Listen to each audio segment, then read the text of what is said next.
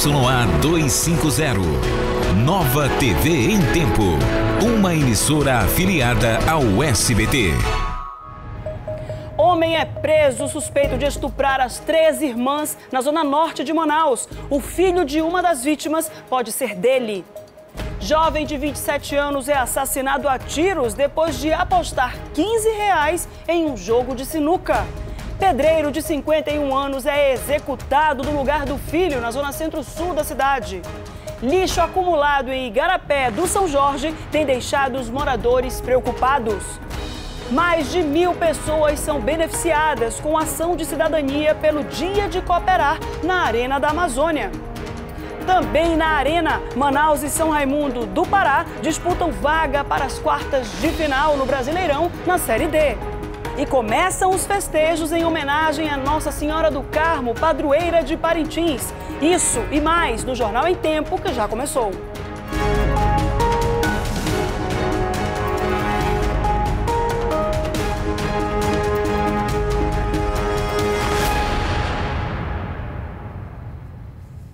Olá, boa noite para você. Um homem foi preso suspeito de estuprar as três irmãs na zona norte de Manaus. Uma das vítimas tem um filho de quatro anos e que pode ser dele. Cabelo e falou que eu não, não fizesse, ele iria me matar. E se eu contasse para quem também. Então, aí pegou nas minhas partes íntimas, puxou meu cabelo, deu três tapão na cara Aí ele pegou e falou, solta neném. Eu falei, não vou soltar. O relato é de uma jovem que denunciou o próprio irmão de 27 anos por estupro. O caso foi registrado nesta delegacia da Zona Norte de Manaus. O suspeito foi preso em flagrante e negou o crime. Eu não fiz isso não, eu junto lata eu para ajudar minha mãe, minhas irmãs, a bebezinha. Eu não fiz isso, eu, eu juro, eu. O rapaz é usuário de drogas e já tem passagem por porte ilegal, segundo a polícia. Foi a jovem de 19 anos quem procurou a polícia para registrar o estupro. Em depoimento, ela fez uma revelação chocante aos policiais. Disse que as outras duas irmãs, que sofrem de transtornos mentais, também já foram estupradas pelo irmão e que o filho de uma delas pode ser filho dele também. Foi que a vítima informou que a mãe também, de certa forma, é um pouco conivente, formou para a gente aqui que ele faz uso de entorpecente, agride lá a mãe, e quanto mais faz isso com as irmãs, né? Reiteradamente as estupra. As outras duas vítimas têm 21 e 25 anos. O homem foi indiciado por estupro e deve ficar à disposição da justiça. Estarrecedora essa notícia, né? Um jovem de 27 anos morreu depois de ser baleado em um bar na zona leste da capital. O assassino não teria se conformado de perder uma aposta para o rapaz em um jogo de sinuca e por isso efetuou os disparos. O crime foi neste bar localizado na Avenida Itaúba, no Jorge Teixeira. Igor da Silva Azevedo, filho do empresário do ramo de lanchonetes, conhecido como Careca Lindo, foi atingido com pelo menos seis tiros no peito e no ombro, depois que venceu uma aposta no valor de 15 reais em um jogo de sinuca. O suspeito não aceitou a derrota e, por isso, pegou um revólver e atirou na vítima. O homem chegou a ser levado ao hospital em um carro particular, mas não resistiu aos ferimentos. A família do rapaz, inconsolada, não quis comentar o caso. Populares disseram à polícia que o assassino é um homem conhecido como Zequinha da Lotação. Ele foi visto fugindo em um veículo não identificado depois do crime. E um pedreiro de 51 anos foi executado a tiros na noite de ontem na frente da casa dele, na zona centro-sul da cidade. O homem foi assassinado no lugar do filho. Quem traz os detalhes é o Luiz Rodrigues.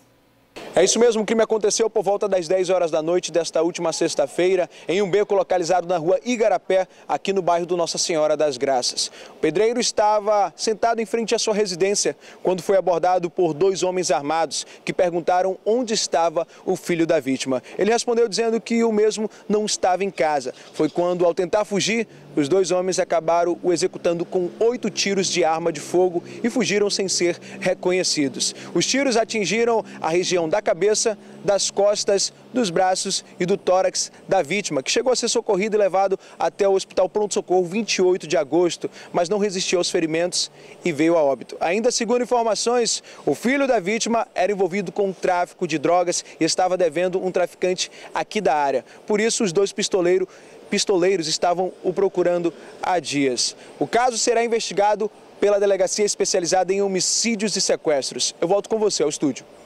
Obrigada, Luiz. Um motorista de aplicativo foi preso ontem à noite quando transportava 5 quilos de drogas e uma arma na zona norte de Manaus. O comparsa dele conseguiu fugir ao perceber a chegada da polícia.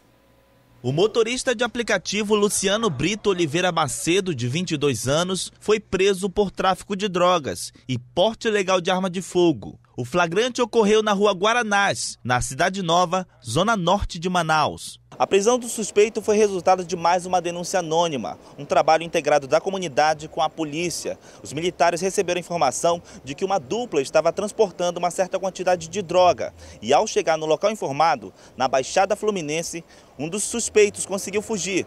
Já o segundo não teve a mesma sorte, foi encontrado com drogas e arma. A gente tinha uma viatura nas proximidades, é, a viatura foi até o local, conseguiu fazer a abordagem.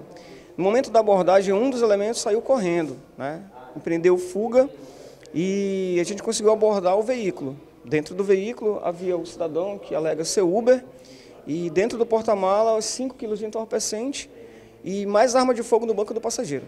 O jovem é réu primário e preferiu não dizer a origem ou o destino do material. O carro utilizado pelo suspeito era este, que foi conduzido até a delegacia. A polícia realizou buscas na área, mas não conseguiu localizar o comparsa de Luciano. A seguir, mais de mil pessoas são beneficiadas com ações de cidadania em Manaus, no dia do Cooperar. É daqui a pouquinho, depois do intervalo.